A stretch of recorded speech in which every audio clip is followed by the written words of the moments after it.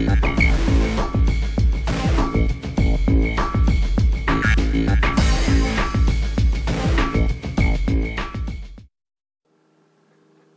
there YouTube, Tiddlywinksist here, and the Armed Citizens Project is freaking awesome. Big thumbs up.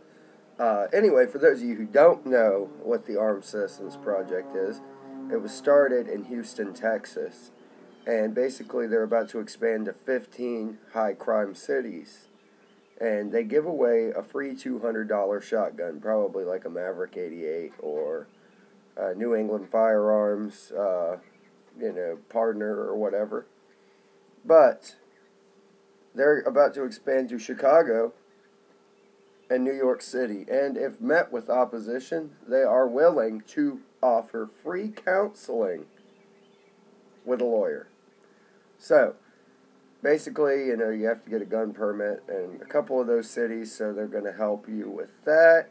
They also are providing free training after they give you the shotgun most of the people that do apply for this are single mothers.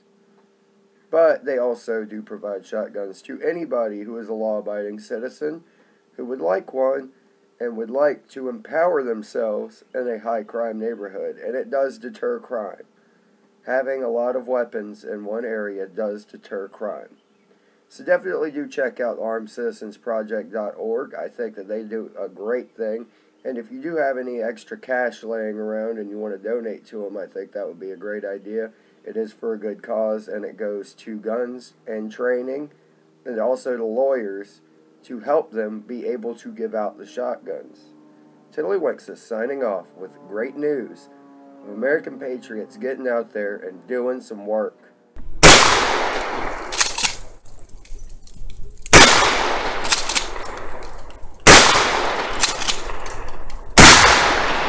That was a slug, I think.